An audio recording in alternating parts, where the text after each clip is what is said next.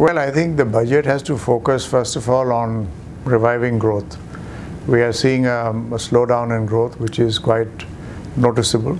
So the focus of all policies and proposals has to be on reviving growth. Uh, there are various ways that things can be done.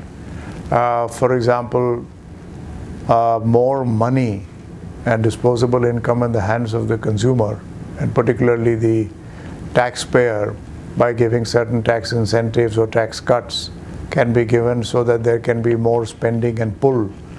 Uh, the second would be in terms of certain investment uh, incentives so that corporates can invest more uh, and bring in growth from, from investment and, and increase investment.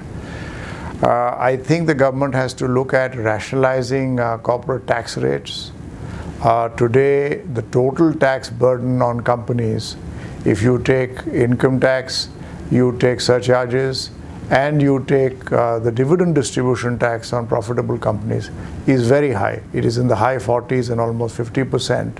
If you take into account the tax on the, the extra cess on the recipient also.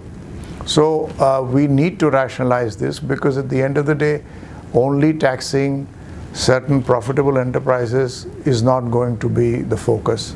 The focus has to be on widening the tax base, on having more people come into the tax brackets and if the tax brackets have to be adjusted to to uh, to get more people in the tax net then that is very important uh, similarly focus has to continue with what government has been doing in the past in terms of thrust uh, uh in infrastructure policies uh, so that there can be greater generation of demand growth for for various items as well as increase the competitiveness of, uh, of Indian business.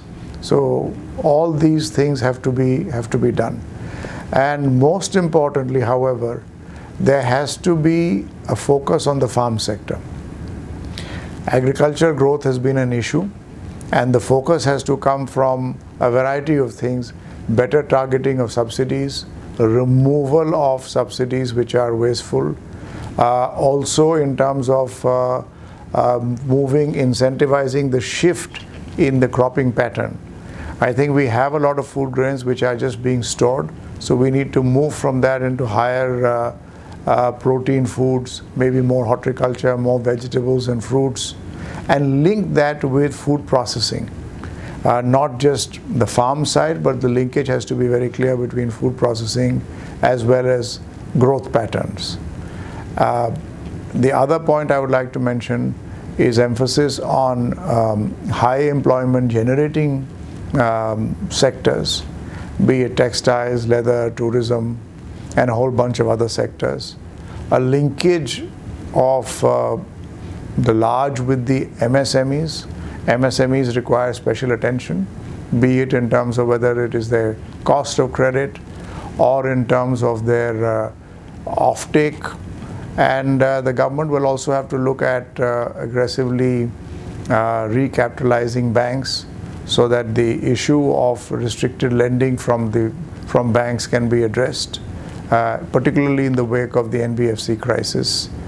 Uh, government revenues can be raised by being more aggressive on uh, privatization or disinvestment. So these are some of the things which I think we should expect in the budget.